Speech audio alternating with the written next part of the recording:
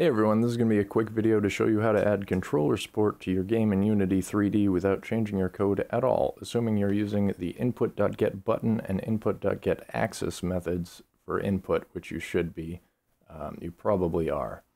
Uh, so I've got this sample scene set up here where I've got a cube, the camera attached, and a little player controller script.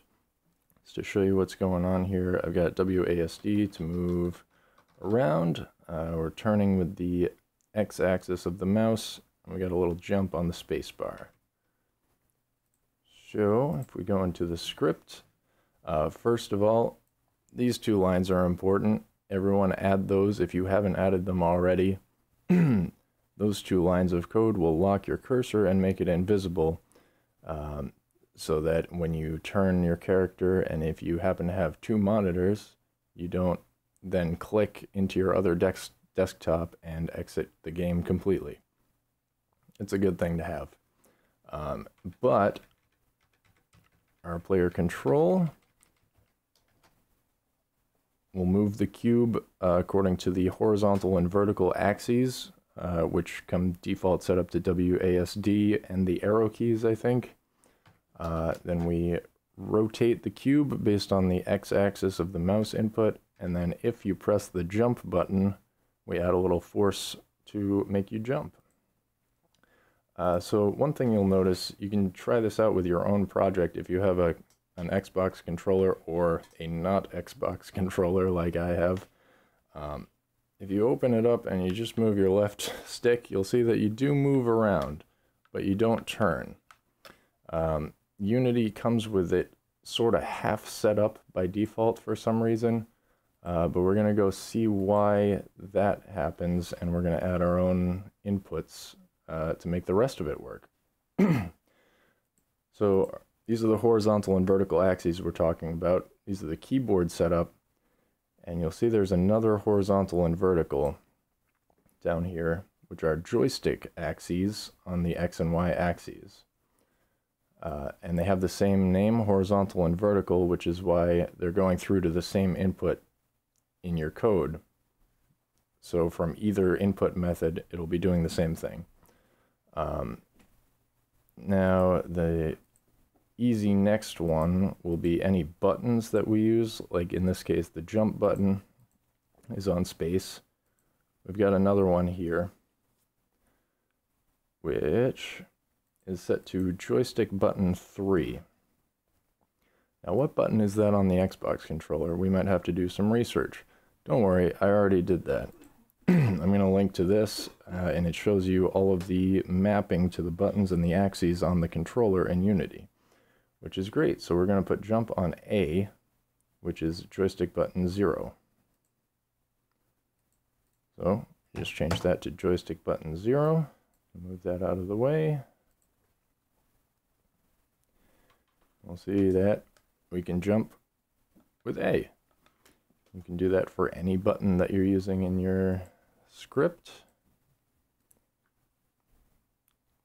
Mouse. Oh, come on. There we go. Now, this gets a little wacky because there's no second setup in here for mouse X and Y, so we have to add our own. Uh, so this size value here is the size of this array of input values it's a little weird. We're just going to increase that by 2. We'll see that that just copies the last thing that's in there, which is cancel. So we have to sort of set this up ourselves. We're going to make this mouse X and mouse Y to use the same names and clear out the button values. Then we're going to change this to joystick axis on both of these.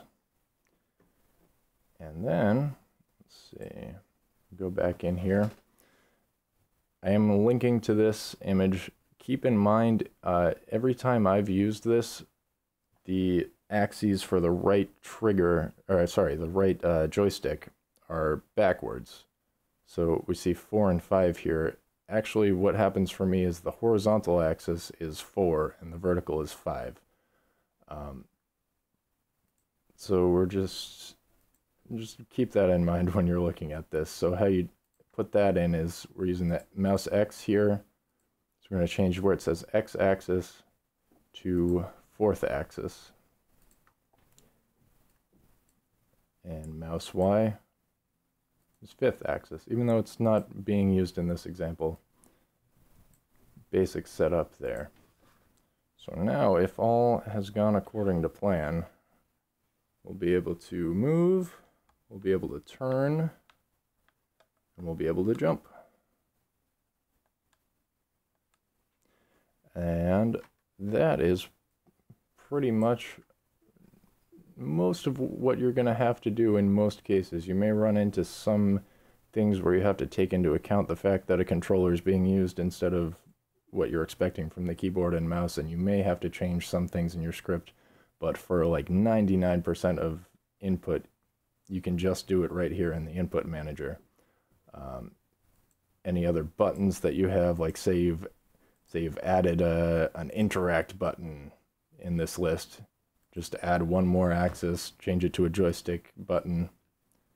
Uh, actually, it's not even a different, it's key or mouse button, and just change it to joystick button, whatever. Um, and then you're good to go. Uh, so that's it for this one. Uh, keep that in mind. Maybe think about doing it. It just adds a little bit of polish. It makes it a little more accessible to some people who prefer the controller. And some people um, will be more apt to keep playing your game. Uh, whereas if they go in and there's no controller support, someone might just close it out. People are like that. Um, and it's so easy to do. Like I said, just do it. Just do it.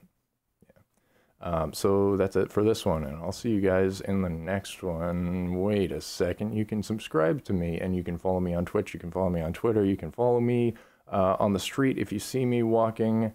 Uh, you can follow me. Uh, that's weird, and we're not going to keep going with that. Follow me on stuff if you want, uh, and I will see you guys in the next one. See ya.